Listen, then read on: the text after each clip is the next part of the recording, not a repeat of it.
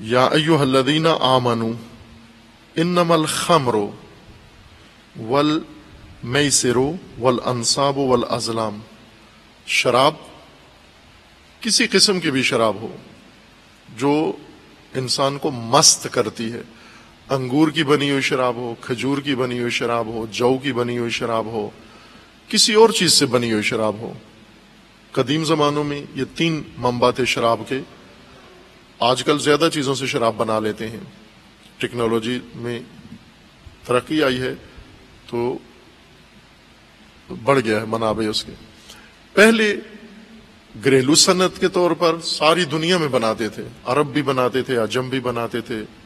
اور ہر گروہ اور ہر قوم کے اندر شراب خاری رائج تھی۔ چونکہ مستی انسان بےحدہ انسان، لغو انسان، گمراہ انسان کو مستی کا عالم اچھا لگتا ہے، مست رہنا۔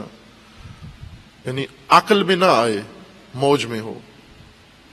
یا لوریوں میں ایک مقولہ ہے، رائج ہے۔ ایک کسی حکیم لوری نے ظاہراً یہ مقولہ ابدا کیا تھا، جو رکشوں کے پیچھے بھی لکھا ہوتا ہے، ٹرکوں کے پیچھے، کہ عقل ہو تو سوچا ہی سوچا، عقل نہ ہو تو موجا ہی موجا عقل ہو تو انسان سوچتا ہے، فکر کرتا ہے، پریشان ہوتا ہے، نگران ہوتا ہے۔ سنجیدگی انسان کے اندر پیدا ہوتی ہے۔ عقل نہ ہو تو موج ہی موج ہے انسان کی۔ مستی ہے۔ مست، مستی سب سے خطرناک حالت ہے انسان کے لیے۔ سب سے خطرناک حالت مستی ہے کہ جس میں انسان انسانیت کے عالم سے باہر چلا جاتا ہے۔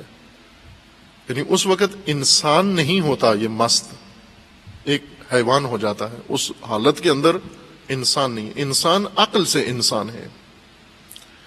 انسان تفکر سے انسان ہے۔ انسان اس وقت انسان ہے کہ جب وہ انسانی جوہر اس کے اندر پایا جاتا ہو۔ مثلا اگر ایک مرد یا ایک عورت مردوں والے کپڑے پہن لے تو کپڑے دیکھ کے ہم اسے مرد کہیں گے؟ نہ، جب تک اس میں مردانہ صفات نہ ہو مست ایسے ہی ہے جو کپڑے انسانوں والے پہنے ہوئے ہیں۔ جلد انسانوں والی ہے، چہرہ انسانوں والا ہے، لیکن انسانیت اس کی زائل ہو گئی ہے۔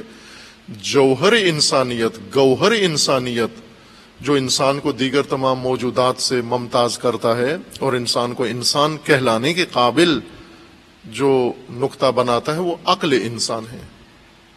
انسان اتنا ہی انسان ہے جتنی عقل ہے اس کے اندر۔ شراب عقل کو زائل کر دیتی ہے۔ کم از کم اس مستی کی حالت میں زائل کر دیتی ہے۔ جس حالت میں مست ہوتا ہے۔ اور اطاعت خدا عقل سے ہوتی ہے۔ اطاعت الہی عقل کے ذریعے ممکن ہے۔ چونکہ مخاطب فرمان خدا عقل انسان ہے۔ لہذا اطاعت سے باہر لے جانے والی ایک بڑی وجہ مستی ہے، نشہ ہے۔ شراب، چونکہ شراب رنگت کی وجہ سے یا بو کی وجہ سے یا ذائقے کی وجہ سے ممنوع نہیں ہے، اثر کی وجہ سے ممنوع ہے۔ اور وہ ہے مستی۔ مستی جس سے آتی ہو؟ بانگ سے آتی ہو؟ بانگ حرام ہے۔ چرس سے آتی ہو؟ چرس حرام ہے۔ ہیروئن سے آتی ہو؟ ہیروئن حرام ہے۔ شیشے سے آتی ہو؟ شیشہ حرام ہے۔ شیشہ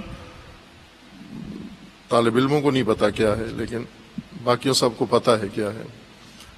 ایک نشہ آور تمباکو ہے۔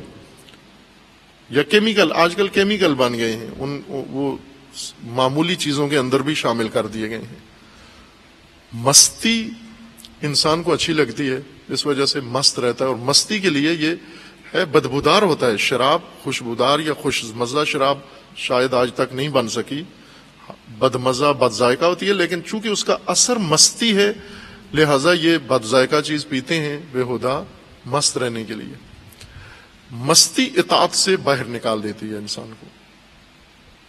مغلوب ہو جاتا ہے انسان۔ یہ عمل شیطان ہے رج سے رج سے یعنی پلید، ناپاک۔ رچ سے ہے شراب۔